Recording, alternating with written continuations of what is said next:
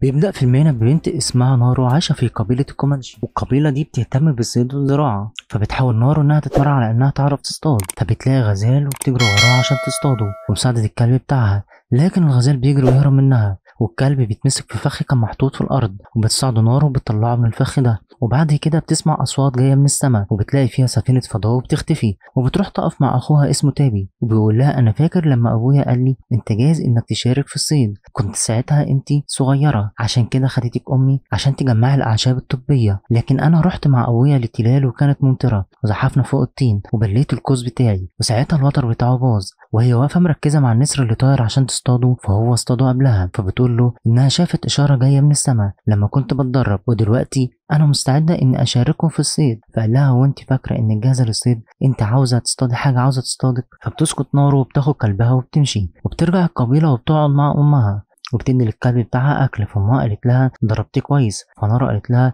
كان تدريبه سهل عشان هو ذكي. فأمها قالت لها مش من السهل تدريب كل مخلوق ذكي. فسألت أمها عن العلاج اللي بتحضره ده عشان ركبة زعيم الحرب. فقالت لها آه. وحالته بتسوء أكتر من الأول. فنارا قالت لها أنت ما ضفتيش زهور البرتقالية. فقالت لها خلصت. وبعدين سألتها أنت تعرفي منين عن زهور البرتقالية؟ قالت لها أنت اللي معرفاني عليها. ونارو قاعدة بتسن الفاس بتاعها. فقالت لها إن ابوكي سابهولك عشان تقطعي بيه الأعشاب اللي هتبقى صعبة عليكي. فنارو قالت لها إنها كانت هتصطاد غزال بيه فقالت لها مش هنعرف ناكل بكلمة كنت أنت بتعرفي تعملي حاجات كتيرة غير الصيد. وسألتها ليه أنت عاوزة تصطادي؟ فردت عليها وقالت لها عشان أنتوا فاكرين إني مش هعرف. فأخوها دخل ومعاه صيد. فقال لأخته كان لازم تهتم بقصتي. فقالت له ما كنتش أعرف اننا عندنا وقت عشان ناخد فيه قيلولة وأمها قالت لها روحي هاتي الزهور البرتقالية. وبتخرج بعد كده بتظهر سفينة فضاء وبتختفي وبتسيب وراها ال Predator على كوكب الأرض. وبدأت نارو في جمع الزهور البرتقالية وهي راجعة تسمع أصوات من القبيلة. فبتسأل واحد قال لها إن أسد خطف واحد من قبيلتهم اسمه بوهي ولازم نلاقيه وبيمشوا أفراد القبيلة في الغابة وبيبقوا مستعدين للهجوم. فواحد بيسمع صوت حد جاي وكان هيضرب فظهرت نارو. فقال لها كان ممكن تتصابي بسهم عشان تسللك ده. فقالت له مين هو اللي بيتسلل؟ فواحد تاني قال لها مين اللي قالك تيجي معانا؟ إحنا مش هنغيب لفترة كبيرة عشان نحتاج لطباخة. فأخوها تابي قال لازم تبقى موجودة. عشان بتعرف تمشي ورا الأثر وكمان لو لقينا ابويا حي فهي بتعرف تداوي المجروحين فبيوافقوا وبيروح لها أخوها تابي وبيقول لها لازم تدوري وتلاقي معانا الأسد فقالت له هلاقيه وقال لها أنا عارف إنك هتلاقيه. وبنروح للبريداتور هلاقيه متخفي عن الأنظار وبيصطاد تعبان وبيسلخه وأفراد القبيلة وهما ماشيين بيلاقوا آثار الأسد وبيعرفوا إنه كبير وبيفضلوا يمشوا وراه نارو والكلب بتاعها لحد ما بيلاقوا بوهي ولما نارو راحت له عرفت إنه لسه حي. وبدأت تداويه فبقية الأفراد قالوا إن تابي عاوز يفضل موجود ويصطاد فنارا قالت له هاجي معاك فتابي قال لها أنا أقدر أصطاد الأسد. فنارا قالت له مش الأسد بس. ليه؟ لقينا أبويا حي. أكيد في حاجة خلت الأسد يخاف ويهرب من عرينه. فتابي قال لها برضه هتولى المهمة دي كمان. خليكي مع أبوي فهو محتاج مساعدتك. فواحد من الموجودين قال إحنا ما عندناش وقت عشان نضيعه في الكلام. لازم ناخده للقبيلة. فبياخدوه يمشوا لكن واحد منهم لقى أبوه سقعان فبيحاول إنه يدفيه. فقالت له نارو إن الجو هيبدا نزيفه ولو دفى هينزف لحد ما يموت. واسمع أنت عاوزه مرتاح ولا عاوزه حي؟ فبيسيبوها ويمشوا. لكن هي بتلاقي التعبان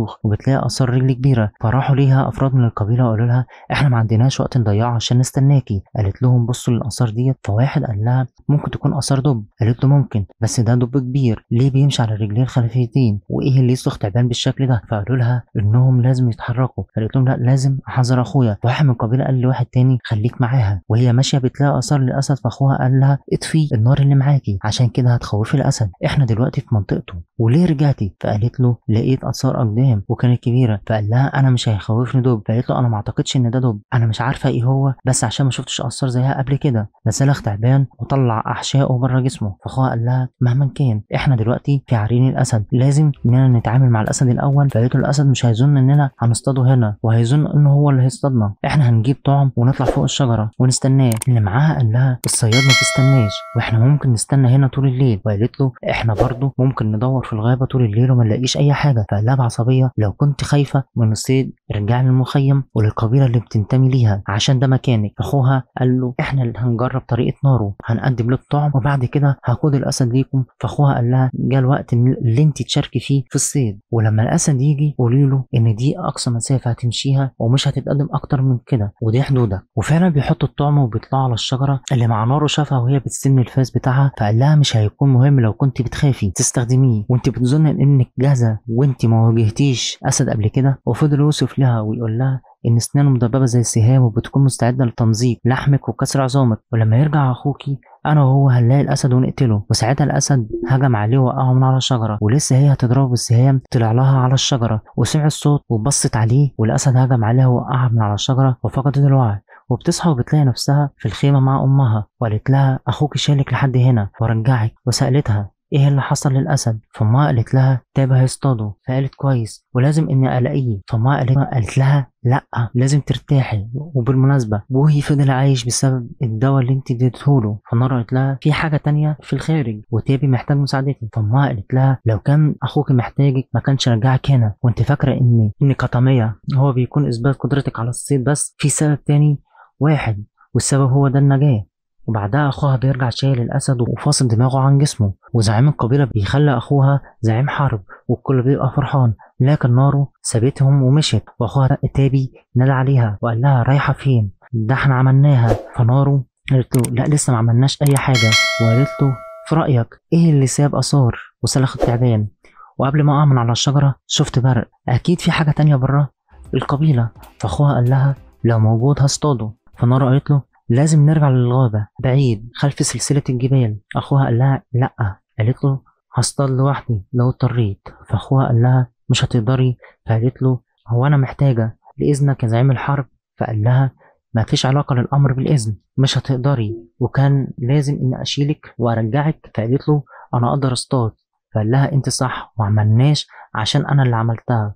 وأنت حاولتي لكنك فشلت وما عرفتيش تموتيه وسابها ومشي وتاني يوم الصبح بتصحى وبتقول لو هما مش شايفين مهاراتي فأنا هوريهم. وتجهز عدة الصيد والكلب بتاعها. وبتمشي وبتبدأ رحلتها في البحث على البريداتور وهي ماشية بتلاقي آثار له عبارة عن دم أخضر وآثار رجليه فبتاخد مقاسها بعصاية وساعتها بيكون Predator واقف بيتفرج على انقضاض ذئب على أرنب والديب كان لسه هيصطاد الأرنب فبيضربوا ال Predator وبتدور معركة بينهم لكن بضربة واحدة بيموتوا ال Predator ونرجع لنارو فبنلاقيها بتحاول إنها تصطاد أرنب لكنها بتفشل وبتحاول تاني ولكنها بتفشل فبتعمل حبل بتربطه في الفاس بتاعها عشان تبقى سريعة في الصيد وبتتدرب تاني وبتطبق اللي اتدربته وفعلا بتنجح في إنها بتصطاد أرانب وبتكمل مشي. وتاني يوم هي ماشية بتلاقي قطيع من المواشي مقتولين ومسلوخين وبتلاقي جنبهم عقب سجارة فبتسيبهم وبتكمل مشي. وبتنادي على كلب الكلب بتاعها لكنه بيختفي وبتقع في بركة من الطين وبتحاول إنها تحدف الفاس عشان يمسك في الشجرة وبتفشل لكنها بتفضل تحاول لحد ما بتعرف. وبتطلع وبيكون بريدكتور عند قطيع المواشي.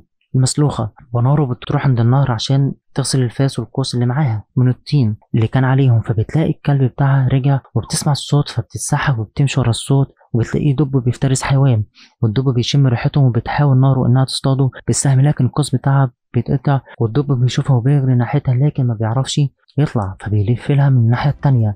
وبيروح لها. وبعد ما راح لها الكلب فضل ينبح عليه لحد ما الدب جري وراه. وهي ده كله بتحاول تصلح القوس بتاعها. وفعلا بتصلحه وبتنزل عشان تصطاده. لكنها بتتراجع لما بتشوف كلبها رجع تاني والدب وراه. فبتحاول إنها تهرب لكن الدب مش سايبها. وكان خلاص هيصطادها. فبتسمع صوت غريب حتى الدب بيتجه ناحية الصوت ده وبيطلع ال Predator رايح يصطاد الدب. وبتقوم معركة بينهم لكن ال Predator بيقضي على الدب. ونارو بتشوف ده كله بتبقى في حالة ذهول وملامح ال Predator بدأت تظهر من الدم اللي نازل عليه من الدب بعد ما رفعه. ولما شافت كده بدأت إنها تهرب من خلال النهر. ال Predator شافها وشاف إنها مش عدوانية عشان كده ما حاولش إنه يهجم عليها. وبتطلع من النهر وبتمشي في الغابة فبتقابل ناس من القبيلة بتاعتها وقالت لهم إيه اللي بتعملوه هنا؟ قالوا لها إنهم بيدوروا عليها وأخوك هو اللي بعتنا عشان نرجعك. وسألته هو فين؟ قال لها بيدور عليكي في الجانب التاني. وسألها أنت رايحة فين؟ قالت له شفت. قال لها شفت إيه؟ قالت له شفت اللي ساب آثار في الأرض. قال لها الدب قالت له كان في دب بس كان في حاجة تانية وكان ضخم. ما كنتش شايفاه لحد لحد ما دام الدب غطاه وكان زي الوحش. فاستهزأ بيها وبكلامها فبيسأل بقية اللي معاه أنتوا شفتوا وحش من قصص الأطفال؟ فقالت لهم ده قاتل. وقتل دب وهو مش معاه سلاح. فواحد تاني قال لها وإزاي هنصدق وهو ما موتكيش فبتسيبهم وبتمشي. لكن بيمنعوها بالقوه وقال لها رجع لك القبيلة. وبيكتفها وهي عمالة تقول لهم إن في حاجة غريبة بره وبياخدوها وبيمشوا وبيكون البريداتور شايفهم وبيحدد انهم عدوانيين من السلاح اللي شايلينه وقعدوا في مكان عشان يستريحوا وخدوا منها السلاح اللي معاها. فنارو بتحس بحاجة غريبة وهم كمان وكل واحد بيستعد بالقوس اللي معاه وبيصطادوا حيوان. فبتقول لهم إيه اللي يخليه يجي هنا؟ واحد منهم بيروح يمسك الحيوان ويستهزئوا بيها لكن بيلاقي بتلاقي على جسمه ليزر وبينضرب بثلاث سهام وبيموت. ونارو عمالة تنادي على واحد بتقول له فكني قال لها خليكي زي ما انت و Predator ظهر وخد السهام من جسم زميلهم. فبدأوا يضربوا عليه بالسهام وهاجموه. فقطع دماغ التاني والتالت بيهاجمه. فبتتسحب نارو وبتروح عشان تفك نفسها وفعلا بتفك نفسها وبتشوف التالت وهو بيموت. فال Predator شافها وهي جريت لحد ما بتقابل واحد من القبيلة كان مستخبي في الأعشاب وال Predator شافهم وعرف إنهم عدوانيين برضه من السلاح اللي معاهم. فزميلها اللي معاه بيسحب سهم وبيقول لنارو إنه كده في مرماها. فنارو قالت له لأ إحنا اللي في مرماه وبيجروا و Predator وراهم وبيلحق اللي كان معاها وبيموته. وهي بتجري وبتقع في فخ وال Predator بيروح يمسك سلسلة الفخ. وبتسمع أصوات بتلاقيهم ناس جايين ناحيتها ومعاهم بنادق وبيضربوها وبتفقد الوعي. ولما بتفوق بتلاقي نفسها محبوسة في قفص وبتشوف كلبها كانوا واخدينه وبيلف القائد بتاعهم. فبتعرف إنه, إنه اللي قتل المواشي وسلخها عشان السجاير اللي بيشربها. هي نفس عقب السجاير اللي لقيتها. هو بيروح لها وبيضرب فيها. فتفت عليه كان هيموتها. لولا واحد اتدخل ومنعه. فبعت واحد تاني بيعرف لغة القبيلة بتاعتهم. قال لها أنت شفتي إيه؟ وهي بتبص له باستغراب. قال لها أنا بتكلم لغات كتير لازم تساعدينا. وأظن إن المخلوق صياد وبيدور على أقوى خصم. إيه اللي أنت تعرفيه؟ لا ده المجموعة اللي كانت معاكي. قالت له لأ ما قتلش الكل فقال لها لو كنت ذكية فهتساعدينا. فالقائد غضب وراح مطلع أخوها من القفص وبدأ يعزف فيه عشان هي تتكلم لكن ما بتتكلمش. فبياخدوهم كطعم لل Predator ويربطوهم في شجرة. فنارو سألت أخوها. أذوك قال لها حاولوا. فسألها إن الحاجة اللي بيحاولوا يصطادوها هو ده نفسه اللي انت بتدور عليه؟ قالت له أيوه. وقال لها هو ده اللي اخترتيه عشان تشاركي. قطمية مجموعة الرجالة اللي كانت بتراقبهم عشان يصطادوا ال Predator بدأ هو يصطادهم. فأخوها شافه قال لها إحنا طعم. هو جاي عشاننا. فقالت له لا هو مش محتاج طعم ومش بيصطاد بالطريقة دي. هو شافنا قبل ما ياخدوني. أسيرة. وقرب مني وبعدها مشي. ما اعتبرنيش مصدر تهديد فتابي قال لها عاوزة تعرفي إزاي قتلت الأسد بسبب خطتك؟ انت خليتيه ضعيف وكنت هتقتليه. انت تقدري تلاحظي اللي هيفوتني. فقالت له أنا مش عارفة إذا كنت هقدر أموت ال Predator ولا لأ؟ فقال لها لو بينزف أكيد هنموته. فال Predator وهو ماشي بيقع في الفخ اللي حاطينه وبيهاجموا عليه لكن بيقدر إنه يطلع من الفخ ده وكمان بيقضي عليهم وكل ما يظهر له حد بيقضي عليه. فتابي سأل نارو.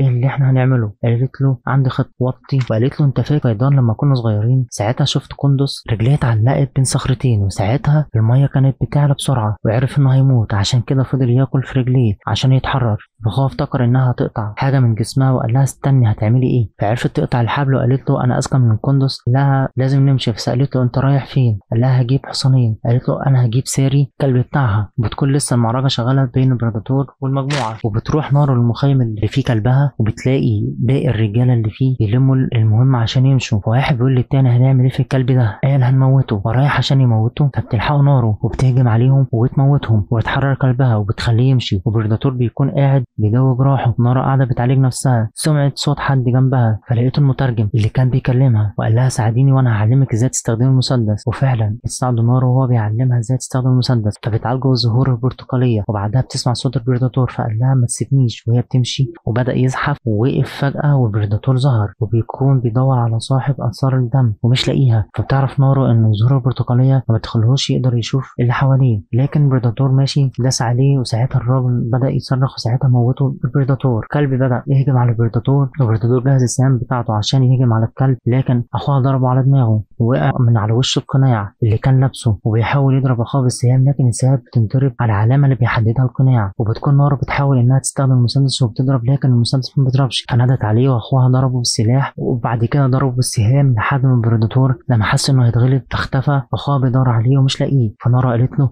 لازم نمشي حالا قبل ما يظهر تاني. فأخوها قال لها اهربي يا نارو. هو فاكر إن أنا التهديد ودي أقصى مسافة همشيها ومش هتقدم أكتر من كده عشان دي حدودي. فقالت له لأ قال لها اقتليه. وال Predator بيضربه من وراه. ال Predator شافها وهي موجهة السلاح عليه. ورايح لها اخوها بيمسكه من الجرح بتاعه. ال Predator بيكمل عليه ويموته. ويبص تاني عليها بيلاقيها اختفت. بتروح نارو النهر بتغسل إيدها من الدم اللي عليها وبتداوي جراحها. وهي قاعدة بتلاقي القائد اللي عازم أخوها بيغسل إيده وبيشرب من النهر. فبتهجم عليه وبتضربه بتخليه يفقد الوعي. ولما بيفوق بتقول له أنت خليت أخويا ينزف عشان كده انت هتنزف دلوقتي. وانت فاكر ان أنا مش صيادة زيك وان أنا مش تهديد وده اللي بيخليني خطيرة. انت تقدر تشوف ده بس أنا هقتلك. وساعتها ال Predator بيجي وهي بتاكل الزهور البرتقالية وتختفي ال Predator بيشوف الراجل ومعاه السلاح فبيعتبره تهديد وبيموته. ساعتها نارو هتضرب عليه النار من مسدس وبيقع القناع فبتاخده وبتحطه بين جذع الشجر اللي اتسلقت بيه لما وقعت في بركة الطين وبتطلع على الشجرة وبتستناه لما يجي وبتنط عليه وتفضل تضرب فيه وبيوقعها ولسه هتضربها بسلاحه. الكلب بيهجم عليه وبيضرب سلاحه بحتة غلط. فبتاخد السلاح وبتجري وهو وراها لحد ما بيمسكها فبتقطع له إيده وبي- وبيفضلوا يضربوا في بعض لحد ما بيمسكها من رقبته وفرد السلاح اللي في إيده. لكن من حسن حظها إن السلاح ما دخلش عشان الصخرتين وفضل يضغط لحد ما هي سحبت سكينة من اللي انضرب بيهم قبل كده وضربته تاني. فبعد وهي عرفت تتحرر منه ونادت على الكلب بتاعها فجاب لها الفاس بتاعها وبدأت تهجم عليه تاني. وتضعفه عشان توقعه في بركة الطين. وفعلا بتنجح في كده وبيقع. ولما بي- بيقوم بيحاول إنه يطلع وتكون من الحاجة الوحيدة إنه هيعملها إنه هيضربها. بالسهام وفعلا بدأ يستعد إنه يضربها فقالت له إن دي أقصى مسافة هتمشيها ومش هتتقدم أكتر من كده. ودي حدودك. وبتكون محددها بالقناع إن مكانه هو مكان الضرب. وفعلا بيضرب السهام وبتيجي فيه وبتموته. والقبيلة وهم قاعدين بيلاقوها داخله عليهم هي والكلب بتاعها. وراس ال Predator وبتحدفها لزعيمه القبيلة. وبتديله المسدس اللي كان معاها. وقالت له هيبقى في خطر قريب. ولازم ننقله ونروح أرض يبقى سهل حمايتها. فبيحتفلوا بيها وبيخلوها زعيمة الحرب. كل الموجودين بيفرحوا بيها. وبينتهي فيلمنا لحد هنا. ويا رب نكون أسعدناكم فرحناكم وامتعناكم فضلا وليس امرا. اشتراكك يهمنا ولايك وكومنت فرح قلبنا.